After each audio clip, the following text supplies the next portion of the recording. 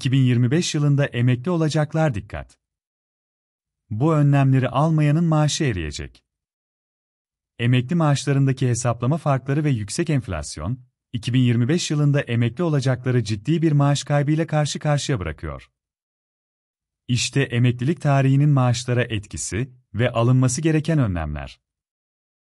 2024'te emekli olacaklar ile 2025 yılında emekli olacak vatandaşlar arasındaki maaş farkını ve kamudaki nitelikli işi gücü kaybını riskini anlatan Milliyet Gazetesi'nden Cem Kılıç'ın bugünkü yazısı şöyle.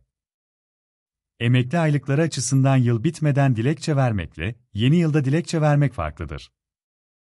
Enflasyon, büyüme ve o yılki emekli aylığı artışları ile alakalı olan hesaplama nedeniyle, bazı yıllar yıl bitmeden bazı yıllarda ise yeni yılda dilekçe veren aylık açısından avantajlı olur.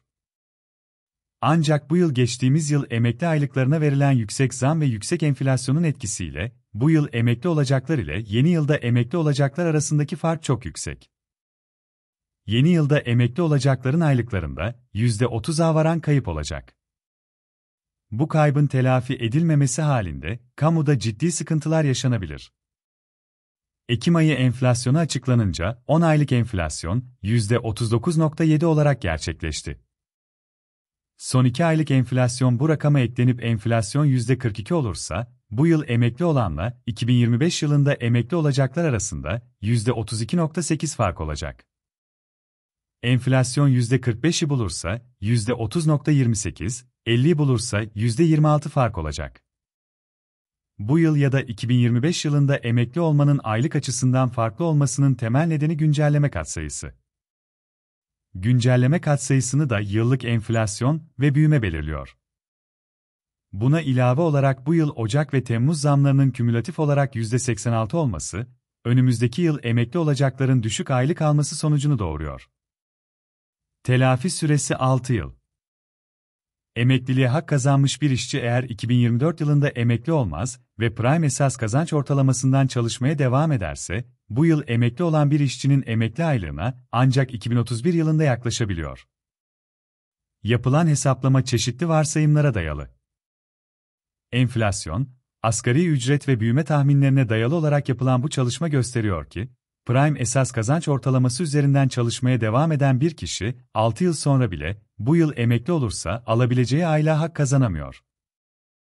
Bu durum enflasyon da, önümüzdeki yıllarda tekrar ciddi bir artış ortaya çıkmazsa mümkün olabilecek bir gelişme. Emekli aylıkları arasındaki bu yüksek farklılık pek çok işçinin emeklilik kararı almasına neden olacak. Bu konuda Türk, İş Başkanı Ergün Atalay ve Genel Başkan Yardımcısı Ramazan Ağar konunun önemine dikkat çekmek için konfederasyon bünyesinde pek çok çalışma yaptılar. Bu dengesiz durumun doğuracağı sonuçlar masaya yatırıldı. İş yerlerinde hareketlendi. Yol, İş Sendikası Başkanı da olan Ramazan Ağar'a, bundan sonra iş yerlerinde yaşanabilecekleri sorduk.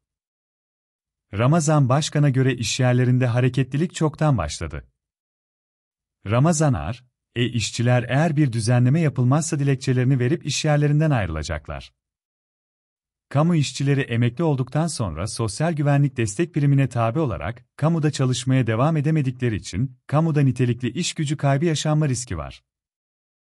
Bu risklere ilave olarak kamudan ayrılan işçiler yerine taşerona alım yapılması halinde hukuken de önemli problemler ortaya çıkabilir dedi.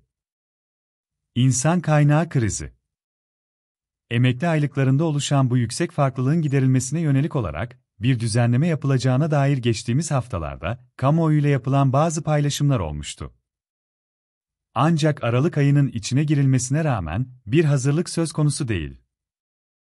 Bu konuda Hazine ve Maliye Bakanlığı'nın bütçeye yük getirir düşüncesinde olduğu ve kamudaki tasarruf genelgesi gerekçe gösterilerek düzenleme yapılmayacağı konuşuluyor. Halbuki kamuda işçilerin emekli olması, kamu kurumlarına hemen ödenmesi gereken kıdem tazminatı yükü getirecek. Örneğin 30 yıllık bir kamu işçisine emeklilik nedeniyle işten ayrılması halinde yeni yıldaki kıdem tazminatının da 49 bin Türk lirası olacağını düşünürsek, 1.5 milyon TL'ye yakın tazminat ödenmesi gerekecek. Diğer yandan işçilerin emekli olması halinde en az %30 daha yüksek emekli aylığı ödenmesinin de SGK'ya ek maliyet getireceği ortada. Bu yılki yüksek farklılık, aklında emeklilik olmayan 50-55 yaşlarındaki kişileri bile kamudan ayrılmaya yöneltti. Bu da özellikle nitelikli iş gücünün kamudan ayrılması anlamına geliyor. Kamunun içinde bulunduğu ekonomik durum elbette ki önemli. Fakat nitelikli insan kaynağının kaybedilmesi de telafi edilemez sonuçlara neden olabilir. Bu tarihlere dikkat. Kamu işçileri için yüksek aylık imkanını kaçırmamak için son tarih 14 Ocak.